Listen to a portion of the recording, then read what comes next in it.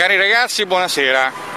Qui siamo a, a Roma, Ma guarda, nel punto in cui strano. è nata Roma.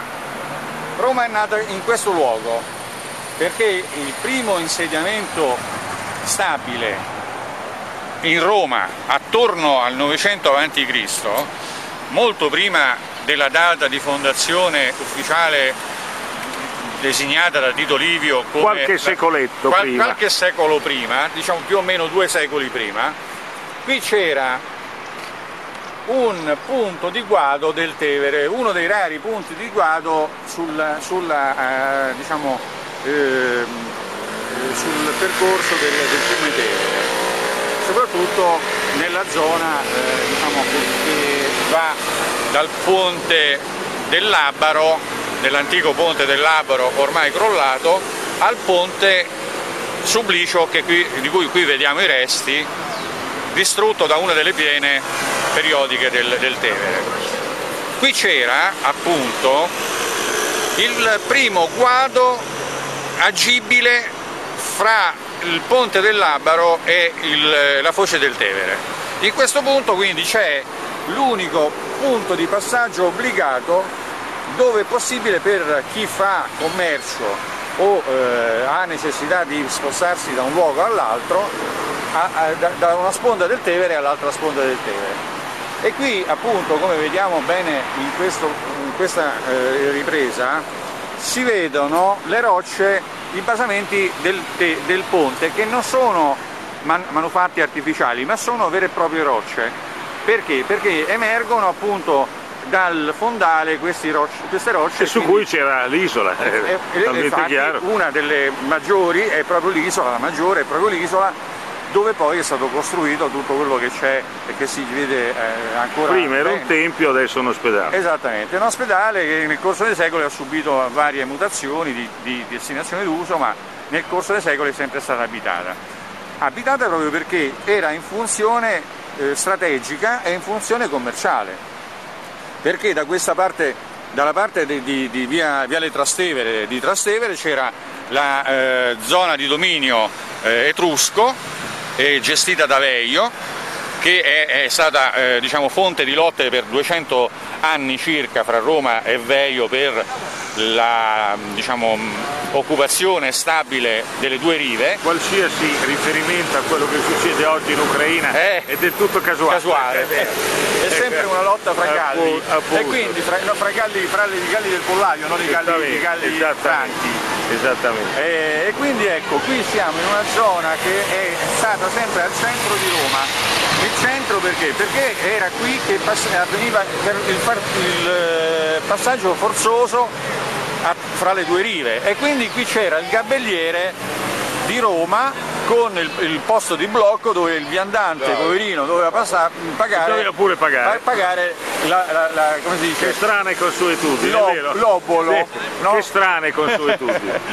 e quindi ecco, Proprio una cosa strana, guarda una cosa... Quindi questo, attorno, attorno a questo nucleo di eh, diciamo, indissolubile nodo eh, diciamo, strategico eh, è sorto gradualmente il villaggio. Dopodiché la collina più vicina che c'era a questa zona era il Palatino, dove appunto attorno al 700-800 a.C. sono state poi fondate le prime capanne stabili, le prime, prime, eh, diciamo, urbanizzazioni stabili. E E quindi ecco, pensare che queste capanne, questa tipologia di capanne, sono rimaste nell'agro, pontino No, fino a po- pochi a 50 decenni fa. No, 50 anni fa. Allora, Eh, eh. voi non ci crederete, no, fino ci a credo, circa ci credo. 50-40 anni fa addirittura, c'era ancora in eh, auge cosidd- la cosiddetta transumanza Certo. e c'erano i pastori che attraverso i tratturi dalla montagna portavano il gregge camminando, Al camminando mare, al mare. e poi l'autunno, eh, cioè in primavera Quasi, viceversa.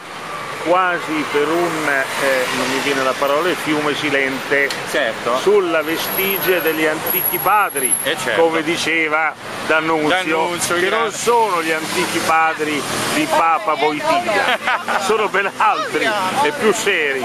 E quindi, aspetta che eh, poi Eh. andiamo oltre. Quindi que attraverso questi tratturi facevano il percorso che facevano gli antichi eh, diciamo, sistemi commerciali, perché passavano attraverso queste strade e erano le strade che poi sono state utilizzate appunto fino al 1950-60 quando utilizzando le stesse modalità tecnologiche, scientifiche e operative che usavano 2000 anni fa, certo. e cioè per esempio la capanna pastorizia che era fatta esattamente come è strutturata la, la, la, la capanna etrusca esattamente, esattamente, con le stesse, gli stessi sì. eh, Beh, ognuno si adatta con, con, gli strumenti che ha portato in mano esatto. si ha portato in mano hai la canna aspetta, giustamente aspetta, la capanna la, cosa incredibile è che ho visto proprio l'altro ieri sera un film che si chiamava Virus qualcosa del genere eh. con Dustin Hoffman eh. Eh, l'ho rivisto varie volte, eh. carino e, e insomma facevano vedere fra le tante cose che arrivava l'esercito americano quello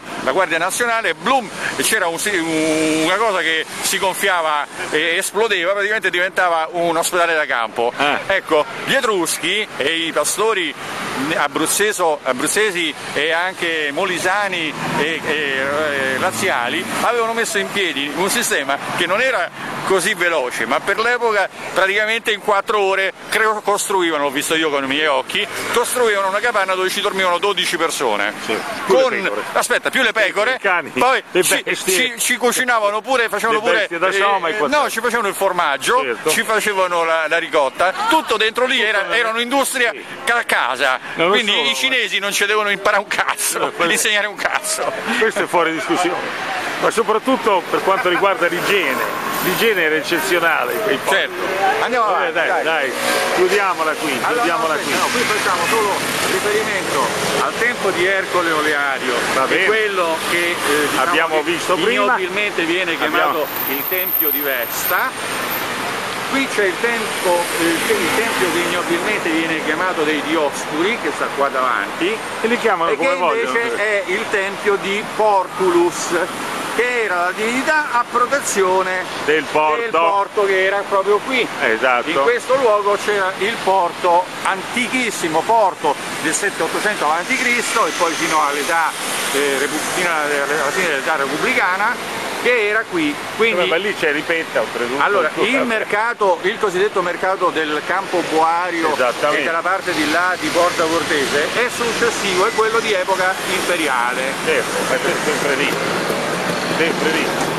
E il Testaccio era una zona dove la collina era stata costruita con i cocci con delle cocci, anfore olearie. E appunto, cioè, una collina alta 80 metri e di un, ra un, raggio più o meno di una circonferenza alla base di almeno 500 metri. Certo. Quindi questo per dire il traffico oleario che c'era nella, eh, nella Roma dell'antichità. E ci siamo salvati grazie a questi oli che non sono certo gli oli adesso, visto che hanno, è arrivata una denuncia gravissima sul fatto che i cosiddetti oli italiani sono in realtà tagliati e questa è una cosa veramente brutta. Con questo chiudiamo cari amici e ci Ciao